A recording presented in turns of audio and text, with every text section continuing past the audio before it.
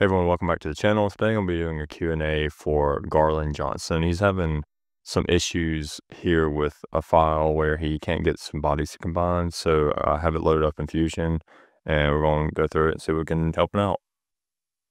All right, so I have the file open up here and you can see that he's working on a, a, type of camera housing, I think, for the blink camera. And and I think that the issue he's having is with this body. So he said that he's, they, they aren't attaching. And, and this seems like the most likely part that he's having issues with. So it's a sweep feature. And what he's done is he's created a profile here and kind of swept it around the outside. And you could make this feature in a lot of different ways, but this is definitely one way to do that. So if we go into the feature and click edit profile sketch, you can see here that this is not fully constrained. And this is something that I used to do a lot and, and didn't really pay attention to much until kind of later on in, in my fusion design, I guess, uh, career.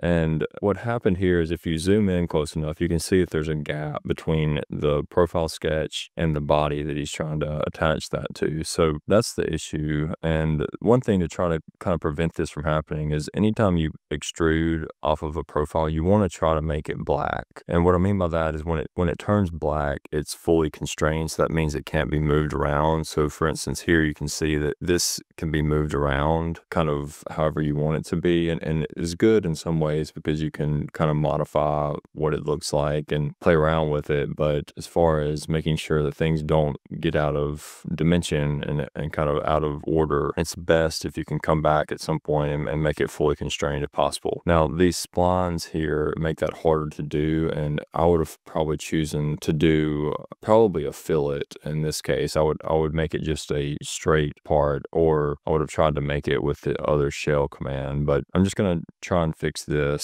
since this is how he chose to do it. So I'm going to project a line here. And the reason I'm doing that is that'll give me a surface to tie this down to. So the way you do that is click create, and then you go down to project, and then project, or, or you can just use P on the keyboard. Right, it's a shortcut. I'm just going to project this top surface, and you can see here that this line is created. So what it's doing is it's basically just taking this whole profile that I just selected, and it's projecting just a line into this surface plane that we're drawing in. So I'm going to click OK, and then you should be able to see that line kind of come into view, and it's this line here. So now if we look at it kind of on plane, you can see that we have a line to tie everything to. So I'm just going to say collinear, select this, and then select that. And so now you can see that that line is now black. And so now if we did the sweep command, it, it, should attach to the body. And then a couple other things I'm going to do is I'm going to make sure that these edges are coincident as well. And then he used a spline here, which these are kind of historically hard to fully constrain, but I'm going to at least make this horizontal vertical. And what that's doing is making that spline kind of guide the line or profile basically in line with this wall down below it. And then you can see that it kind of messed up these other parts. So I think what I actually want to do is just is make this the way I would do it. So I'm just going to click escape and then delete this profile and this profile. And I'm going to leave the other stuff kind of how they are. Now I'm going to click R for rectangle. Again, you can just click that, but I try to use the shortcut keys. And I'm just going to come up here to the height that he had it at. And then next thing I'm going to do is he he didn't have it all the way to the edge, but I'm going to assume he probably intended to do that. But if, if not, you can come in and, and change it. And so now we have that profile. And then the next thing I'm going to do is just coincident this part here with that. And then this with that.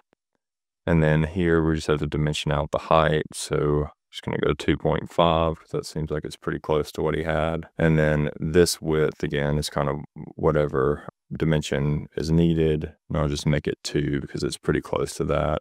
And then I'm going to coincident this and this. And so now we have a fully constrained profile. And so I click finish sketch and then we're going to have to modify uh, the sweep here. And so we just want to select both of those things. And so now you can see that if I move this out of the way, we want to do join. And so now this is joining with that. So it's one body like, like we wanted it to be. So now the next thing to do is to add the fillet. So I'm just going to add one that's like two and then I'm going to add another one that's going to be smaller than that.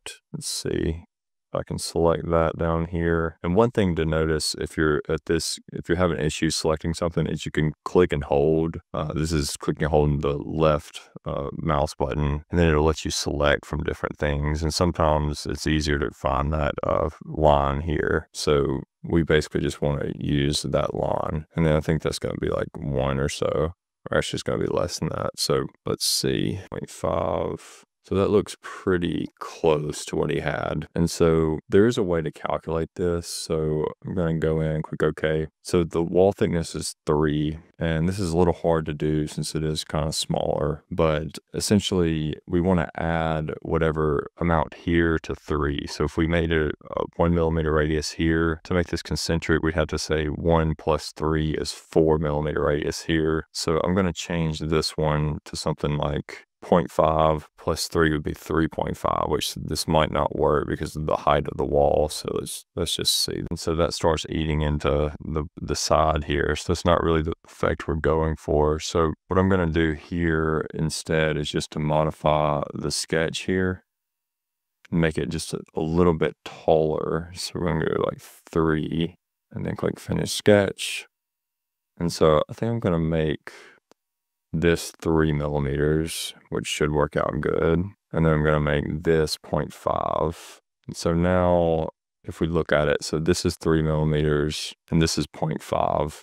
So the one thing you'll notice here is now this wall is three millimeters and this one is two millimeters. And that just to me doesn't look quite right. And there might have been a reason uh, that he made it that dimension. Maybe it has to fit into something or something like that. So I'm actually going to go back and make those the same though, because it, it just looks better to me when, when they are the same. So the way we would do that is you could just make this a straight line and add the fillets, but I'm now I'm going to make this four and then here we're going to dimension the width of this out to three.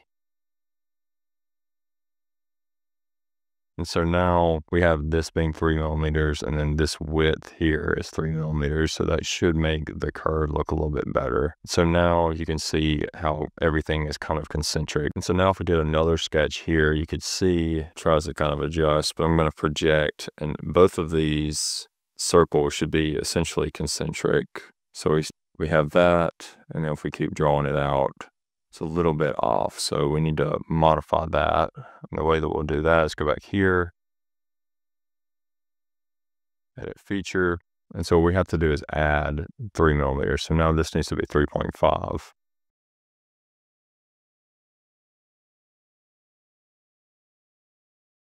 All right, and so now you can see Again, if we draw that uh, circle here, so we just draw a circle at the kind of origin, that's our one millimeter. And if we keep drawing it out, that's seven millimeters. So that now these, this wall here uh, from here to here is three. And then if we draw it from here it'll also be three. So you can see that the wall is a concentric all the way around. So I, I like that effect. I think it makes things look a lot better and I try to do it when I can. So that is how you fix uh, this issue here. And it's a, it's a common issue. So hopefully even if you have a different design, you can uh, kind of learn from it. And the sweep is a really useful command, but you could have also done a similar thing uh, just by having kind of an overhang basically if the overhang was right here, you could just draw a line and extrude this down and you wouldn't really have had to do the sweep. But the sweep's also a good option because now you can adjust, you know, how much of a lip you have really easily. So for instance, if we go back and you, you find that you need a little bit bigger of a lip, you can do edit profile sketch and then make this into like you know, five millimeters. And so now you have just a bigger lip there than what we had the first time. So that is a pro to, to this type of design, doing it that way. So, all right, so that's about it for this one. If you're interested in joining my community, the link is down below. And I do file reviews like this for free just to try to help people out. So if you're interested, go ahead and join, and I'll see you in the community. Thanks for watching.